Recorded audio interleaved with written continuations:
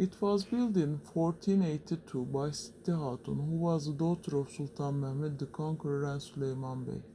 As it understood from the historical sources, a mosque was built in part of the palace, which was standing until 1743.